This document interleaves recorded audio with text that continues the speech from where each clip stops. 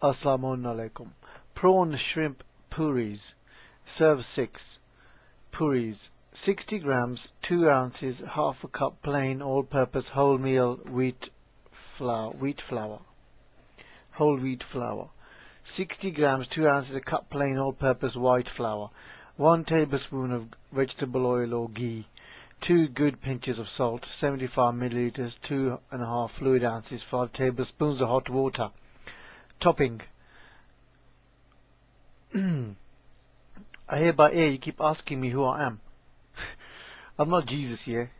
Do you know me? Does anyone know me? So what am I? I'm alien, innit? Don't oppress the alien. Anyway, what do you all believe in? anyway, topping. 250 grams, 8 ounces, this is why. 250 grams, 8 ounces fresh spinach washed and, and stalks trimmed.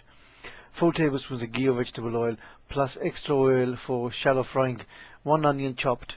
1 garlic clove crushed. Half 1 teaspoon of minced fresh red chili.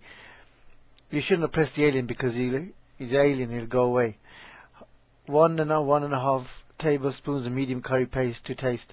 250 grams, 8 ounces canned chopped tomatoes, 150 milliliters, quarter pint, two-third cup coconut milk, 250 grams, 8 ounces of peeled tiger prawns, jumbo shrimp.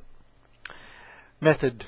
Put the flours in a bowl and make a well in the center. Add the ghee or oil, salt and hot water and mix to form a dough. Leave to stand for one hour. Step 2. Cut the spinach crossways into wide strips by making bundles of leaves and slicing with a sharp knife. Heat the ghee or oil in a frying pan. Add the onion, garlic, chili and spinach and cook gently for 4 minutes, shaking the pan, stirring frequently. Add the curry paste, tomatoes and coconut milk and simmer for 10 minutes, stirring occasionally. Now you say, where will the alien go? Anywhere in time. 10 minutes, stirring occasionally. Remove from heat. Stir in the prawns, shrimp, and season with salt to taste. Step 3. Knead the dough well on a floured surface. Divide into six pieces and shape into six balls.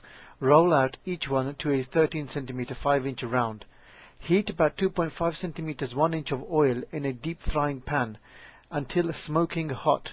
Take one puri at a time, lower it into the hot oil and cook for 10 to 15 minutes. Seconds. 10 to 15 seconds, not minutes. on each side until puffed up and golden.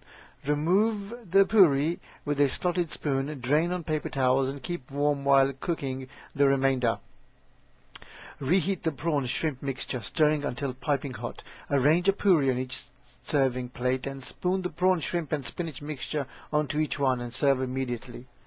Now this can be eaten like this. You know some people don't like, you don't like eggs, isn't it? You know you got egg white. You got egg white, isn't it? You put egg white in a frying pan and you make the egg white and you put it in a plate and you can't really eat the whole plate of it. You know what I mean? It's like a big bucket full of big bucket full of uh, scrambled white egg. What you do right is this.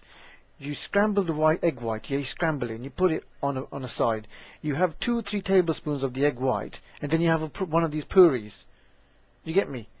And then you have another two, three spoons of egg white, scrambled egg, and then you have another one of these prawn puris. So you keep jumping one to the other, and there you go, your egg white is finished. Anyway, have a nice day.